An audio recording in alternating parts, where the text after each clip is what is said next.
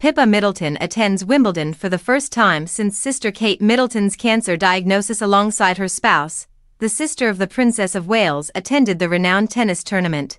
For the first time since her sister Kate Middleton revealed she had cancer, Pippa Middleton went public, accompanied by her spouse, James Matthews. Pippa, 40, looked chic as she arrived for day 12 of the Wimbledon competition on July 12. The couple, who got married in 2017, is well known for frequently attending the prestigious tennis tournament, with the constant rumors swirling around whether 42 year old Princess Kate will appear at the championship matches in the coming days.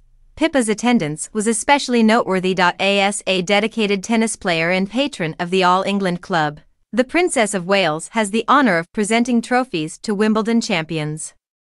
The men's singles final is scheduled for Sunday, July 14th, and the women's singles final for Saturday, July 13th. These are two esteemed occasions where the winners are usually presented by the royal.